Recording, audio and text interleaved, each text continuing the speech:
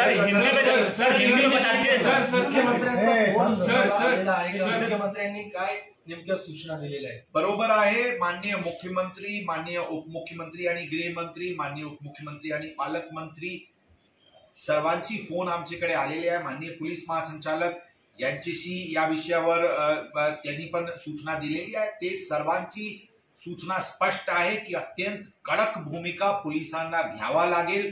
जेणेकरून जनमानसात लोकांना जी संभ्रम आहे की पोलीस किंवा प्रशासन योग्य कारवाई करत नाही ती संभ्रम दूर व्हायला पाहिजे आणि आरोपी विरुद्ध आणि आरोपी जो जो जे जे या प्रकरणात दोषी आहेत त्यांच्या विरुद्ध कडक कारवाई व्हायला पाहिजे हीच भूमिका शासनाची आहे आणि त्याच अनुषंगाने पोलीस डे वनपासून तीच मार्गाने.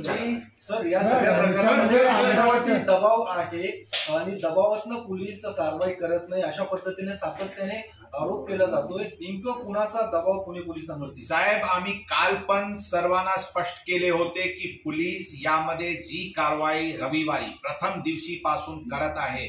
तीनशे चार आय पी सी लावण्याचे प्रकार असतील कोर्टाला जुवेनाईला अडल्ट ट्राय करायसाठी अर्जचे असतील नंतर पचहत्तर आणि सत्याहत्तर जुवेनाईल जस्टिस ऍक्ट तहत गुन्हा दाखल करायची असतील पोलीस डे वनपासून कायद्याची मार्गावर आहे मी काल ही पण खुलेआम सांगितले की कोणताही लीगल पॅनल लीगल एक्सपर्ट समोर आम्ही खुलेआम चर्चा करण्यास तयार आहे. जर कोणी मला जे भूमिका जे स्टेप्स पोलिसांनी घेतलेले आहेत त्याचे पेक्षा काही आणखी स्ट्रिंजेंट भूमिका कोणी मला सुचवत शकतील तर आम्ही त्या चर्चावर जाण्यास पण तयार आहे. सांगण्याची अर्थ अशा आहे की आम्ही डे वनपासून कायद्याची मार्गावर ठामपणे चालू आहे आहे.